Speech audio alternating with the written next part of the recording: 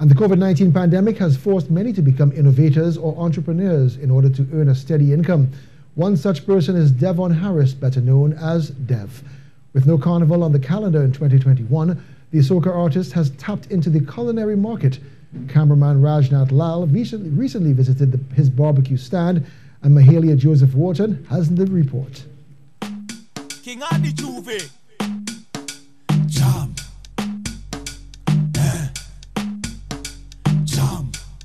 Good night and welcome to Devs.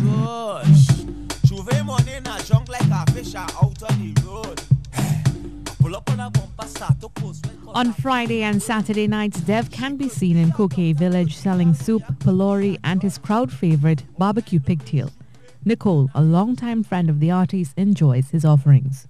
I come regularly and purchase, so it's an opportunity to support him and as customers, as good friends, we support our friends.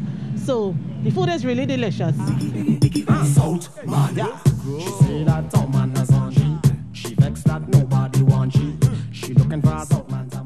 The soca artist turned culinary entrepreneur is also a professional barber.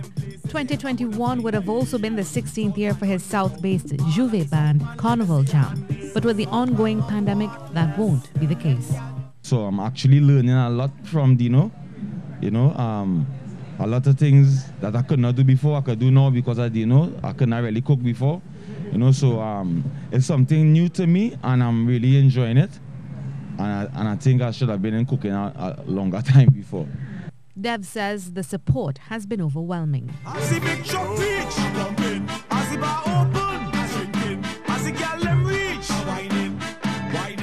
But music is still his passion. He shares with us his new releases for 2021. Southman, big up to Ricardo Drue. So that's that track is with Ricardo Drue and I, Southman. And I have a new one recently dropped called Dreaming. And though there are lots of online shows, they don't compare to the stage. The challenge with the online thing for me is just is only the camera you see, you know. So you have to you have to just pretend and make up your mind like, hey, there's a thousand people there, and you know, you just have to imagine. Yeah, that's the hardest part for me. For now, he'll connect with fans through his tasty delights.